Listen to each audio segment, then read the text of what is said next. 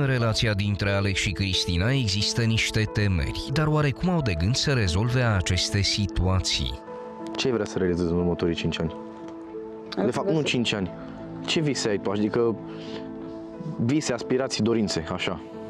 Îmi doresc întâi să lucrez la mine, să mă schimb pe mine. Adică ce ai vrea să lucrezi la tine? Ce ai vrea să îmbunătățești sau să scapi?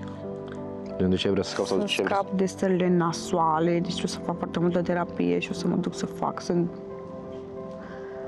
100% sigură că vreau să mă duc la terapie. să... Adică la psiholog? Nu? Da. Sau e diferență? Da, Ok. să merg la psiholog, să fiu eu ok cu mine, să pot să mă exprim mai bine, gen, Adică să... Te întrerup puțin, scuză-mă. Să exprimi și ceea ce simți, ce gândești, nu doar ce-ți vine pe moment. nu? exact, da, să lucrez la mine mult vreme, îmi doresc, chiar îmi doresc să lucrez la mine. Îmi doresc să ne schimb magazin, Sau... îmi Da. doresc să fac bani, fac banii. Îmi doresc să mă căsătoresc. Așa, îmi doresc și să fac un copil. Dar asta și m-am gândit că întâi trebuie să rezolv problema la mine, apoi să fac un copil. Păi n-ai cum să... Ai... Pot exprima să vorbim despre amândoi, dacă vrei. Da. Nu putem să avem un copil în momentul în care noi avem niște probleme rezolvate și să le vărsăm indirect pe copilul acela, știi? Da. Adică trebuie să Chiar lucrăm vreau să la noi lucrez la mine. atât individual cât și amândoi. Sper să mă Unde știe și trebuie. mesiunea asta, gen să mă deschid mai mult, să mă... Să nu mai spun exact ce gândesc mereu, că nu e ok, știi? Mm, Să nu, Cu mai spui, măsură, așa. să nu mai spui exact ce gândești, depinde circunstanța. Adică, Da. referindu-ne strict la noi doi, întotdeauna trebuie să faci chestia asta și eu la Am fel. făcut. Și dacă Știu, te-am deranjat, pare rău. Și dacă te-am deranjat, nu mă interesează.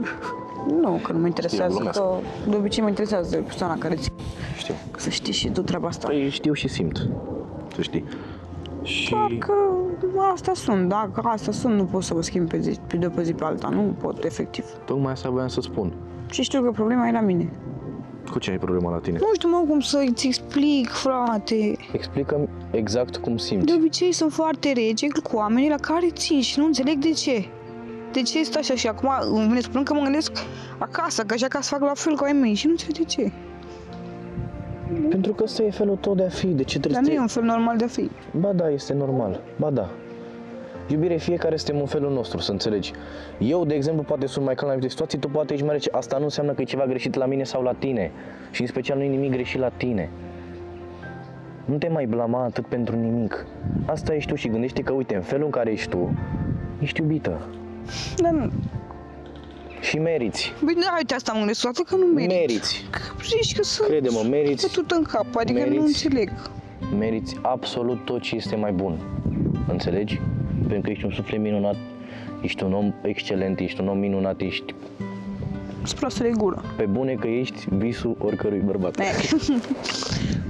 Nu, sunt, sunt ciudată și știu și de asta chiar m-am hotărât să merg la psiholog, gen la modul să mă duc până îmi rezolv toate chestiile astea. Dar nu ești ciudată, iubire. Ba da. Ai anumite chestii pe care trebuie să le rezolvi, care e normal. Mă lovește orice foarte om. rău anxietate, foarte rău. Și depinde de situație. Uite, am, cum ți-am am zis și azi în emisiune, moment, momente în care e agitație și îmi place și momente în care e agitație și efectiv simt cum mi se strânge stomacul și rămân așa strâns și nu, nu pot să-mi ies din stare. Știu și eu am momentele astea. Am foarte rare momentele în care sunt foarte bine, așa, știi, să zici că sunt ok. Aici sau în general? Aici, nu, în general, nu aici. Eu de asta am venit aici, în primul rând, să mă...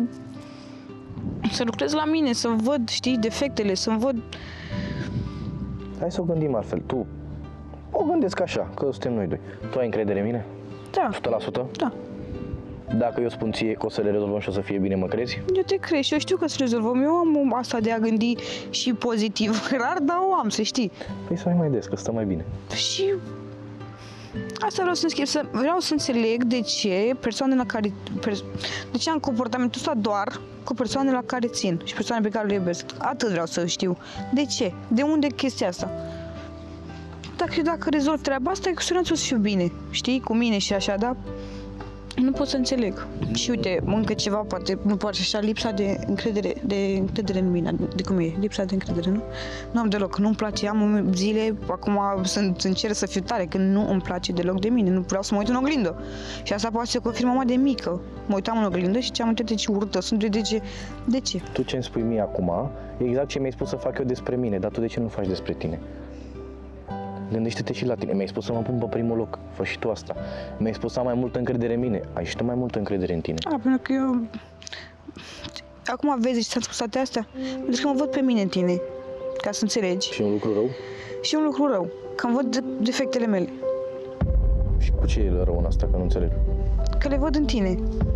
Gen, înțelegi? Defectele mele, le văd în tine. Eu la tine nu le iau ca defecte. Vreau să, adică, da. vezi, iar m-am exprimat corect. Nu le, nu le iau Da, ca te-ai exprimat defecte. greșit, că n-am înțeles eu. Că... nu, nu le iau ca defecte, gen, dar le văd în tine și îmi dau seama că s- ale mele pe mine nu mă reprezintă, ție stă foarte bine așa cum ești, gingaj, drăguț, cum vrei spart tu dur, dar la Tu mine vezi știu în că mine nu... ce nu-ți place la tine, gen. Da, da, da, da, ăsta e. E și un lucru bun, că de aici poți să începi să construiești ceva. Asta zic, să de-aia am gândești. încercat să vorbesc cu tine, să spun chestiile astea, să nu... În capul meu a fost că poate super pe mine, poate, știi, dar Cu ce să mă supăr? Zim tu mie cu ce aș putea să mă supăr. când ți-am spus atunci, de exemplu, că mă simt sufocat și așa, Nu m-am supărat și nici nu m-a deranjat, ți-am spus. Pentru mine a fost o chestie de... Bă, ok, na. adică eu credeam că fac bine ceea ce fac. Uite, și de acum am și foarte bine când vorbesc cu tine, mă simt foarte regajată, dacă toată nu îmi vine să vorbesc. Și asta e o greșeală. Eu acum cu tine mă simt foarte bine. Mi-au trecut toate stările de la aveam acum jumătate de oră. Eu ce spun mereu? De-aia și uneori sunt eu poate Da, mă, nebun ți-am și te zis, întreb de sunt 10 ori. ciudată, mă, sunt și ce ciudată. dacă ești ciudată, de ce să fii normală ca toată lumea? Mai bine, ești ciudata mea. Pe mine nu mă interesează. Ți-am mai spus și îți repet. Începem, lasă-mi pe mine ultim. Familia ta te iubește, părinții te iubesc, prietenii tăi pe care mulți puțin te, iub, te iubesc și, da? Eu te iubesc până la cer și înapoi. Ce-ți mai trebuie mai mult de atât? Să fiu eu bine cu mine. Păi și o să fii. Și atunci când o să fiu bine cu mine, Acordă o să timp. munți și munți, crede-mă. Acordă timp. Mulțumesc, mai că chiar mă înțelegi și știi cu mine și nu te superi, că dacă făceam eu, îmi făceai tu cât de asta ți-am făcut eu așa. Te-ai fi supărat. Da, Știu. clar, și tu nu te-ai supărat. Pentru că nu îți răspund cu aceeași monedă, nu e stilul meu să fac asta cu tine. Poate și eu mai, așa, mai lipicios, dar simt să fiu așa cu tine. Tu ești altceva.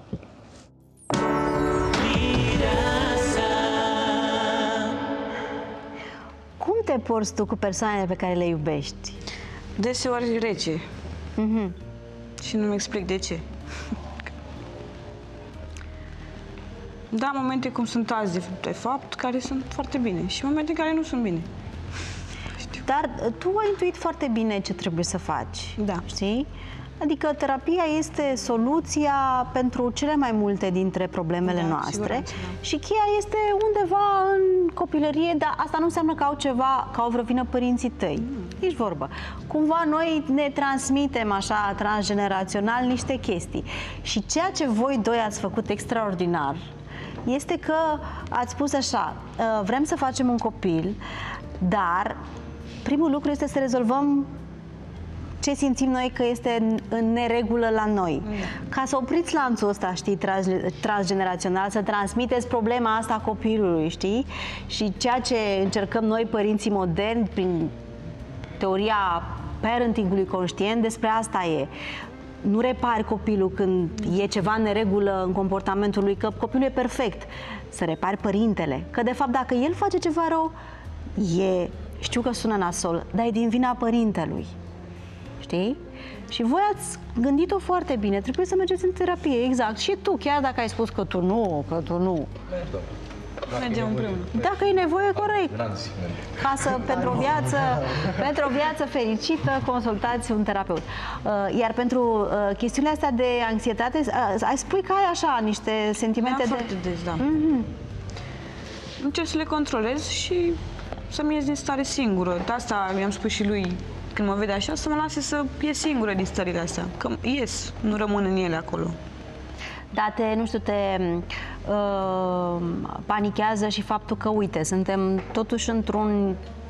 Faptul că ne vedem în fiecare zi într-o emisiune e un factor de stres pentru foarte mulți treaba asta. Da, este și ăsta un motiv, sincer, da. nu sunt obișnuită, nu, v-am spus, nu-mi place agitația de multe ori Și aici este agitație într-o Este, casă. este, da. Dar în viața ta de afară ai aceleași stări sau acolo gestionezi mai bine?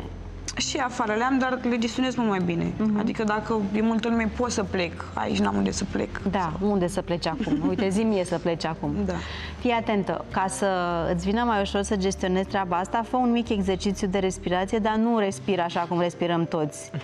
Să respiri aici, să se, să se miște burta, știi? Să se ridice burta. Și dacă faci de 10 ore așa și să simți că se duce burta în sus și poți să faci exercițiul ăsta stând întinsă, da? Și pui ceva pe burtă și să vezi că se ridică. De 10 ori dacă faci cel puțin, o să vezi că îți reglezi un pic, uh, da? O să încerc, mulțumesc. Da. Uh, și ce magazin vrei tu să-ți deschizi? În eforie vreau să deschid ceva. Un eforie. Păi dar nu vă mutați în București? Păi de Da, da, vara vara o să stăm acolo. A, vara la mare, am înțeles. fac bani acolo, merge. Păi și ce fel de magazin? În ce domenii? Cu de toate. Ce se găsește pe plajă. De mâncare sau? Nu, nu mâncare, nu. A, de asta de articole de plajă. Exact, da, da. Ok. Păi și ai spațiu tot sau urmează acum să faceți? Urmează, urmează. Păi sezonul ăsta Des. cred că îl ratați. Sezonul ăsta cu siguranță, da. Da. Sezonul ăsta stați în București vara asta. Da, domnule, și mai aveam zic ceva așa, Ia. o completare și după vă las în pace. Ia.